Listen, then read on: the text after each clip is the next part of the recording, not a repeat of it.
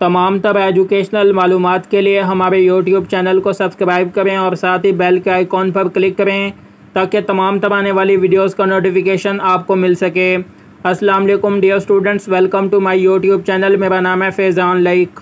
Dear students आज की इस वीडियो में बात करेंगे कि जीसी यूनिवर्सिटी फैसलाबाद, इसके बाद पंजाब यूनिवर्सिटी लाहौर और इसके अलावा यूनिवर्सिटी ऑफ़ सरगोदा में अंडर ग्रेजुएट प्रोग्राम के एडमिशन्स कब ओपन होंगे। और इसके साथ ही एडमिशन के लिए कौन सा एंट्री टेस्ट लाजमी होगा? तो स्टूडेंट सबसे पहले बात करें पंजाब यूनिवर्सिटी लाहौर। तो इसमें अंडर ग्रेजुएट प्रोग्राम के एडमिशन्स इंटरमीडिएट रिज़ल्ट के बाद ओपन किए जाएँगे। यानी कि जिस वक्त इंटरमीडिएट का रिज़ल्ट अनाउंस कर दिया जाएगा, तमाम पंजाब बोर्ड्स की तरफ़ से तो उसके फ़ौर बाद ही पंजाब यूनिवर्सिटी लाहौर अपने एडमिशन ओपन करेगी।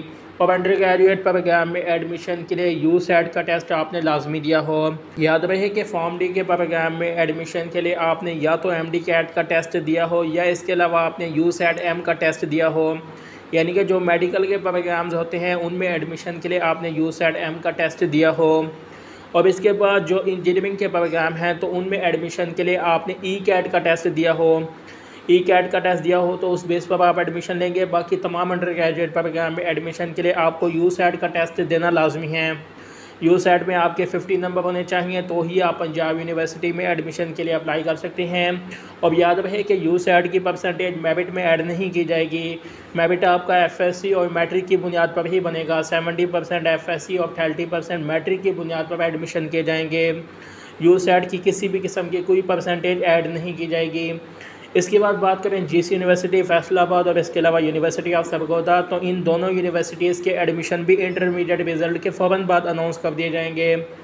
और जीसी यूनिवर्सिटी फैसलाबाद में एडमिशन के लिए किसी किस्म का कोई एंट्री टेस्ट नहीं होता। सभी एल बी प्रोग्राम में एडमिशन के लिए लॉ एडमिशन टेस्ट जबकि इंजीनियरिंग प्रोग्राम में एडमिशन के लिए जीसी यूनिवर्सिटी फैसलाबाद की तरफ़ से अपना एंट्री टेस्ट कंडक्ट किया जाता है। इंजीनियरिंग के प्रोग्राम में एडमिशन के लिए टेस्ट होते हैं और इसके अलावा एलएलबी प्रोग्राम के लिए बाकी तमाम जो प्रोग्राम्स अनाउंस किए जाते हैं जीएस यूनिवर्सिटी फैसलाबाद की तरफ़ से तो उनमें एडमिशन के लिए किसी भी किस्म का कोई एडमिशन टेस्ट नहीं होता। इसके बाद यूनिवर्सिटी ऑफ़ सरगोदा में एडमिशन के लिए भी कोई टेस्ट नहीं होता। इनके एडमिशन थर्टी परसेंट मैट्रिक और सेवेंटी परसेंट एफ़ की बुनियाद पे होते हैं। यानी कि सेवेंटी परसेंट एफ़ और इसके अलावा थर्टी परसेंट मैट्रिक की बुनियाद पर एडमिशन किए जाते हैं और एडमिशन के लिए सिलेक्शन की जाती है। जैसे ही university of Sargodha Punjab university, Lahore और इसके अलावा जीस यूनिवर्सिटी फैसलाबाद की तरफ़ से एडमिशन ओपन किए जाएँगे, आपके साथ मुकम्मल अपडेट एडमिशन्स के हवाले से शेयर करेंगे। मज़ीद अपडेट रहने के लिए हमारे चैनल से कनेक्टेड रहें और चैनल को सब्सक्राइब करें ताकि तमाम तमाम वाली वीडियोज़ का नोटिफिकेशन आप तक पहुँच सके। अपनी दुआओं में याद रखिएगा। मिलते हैं अगली वीडियो में। तब तक के लिए अल्लाह हाफिज़।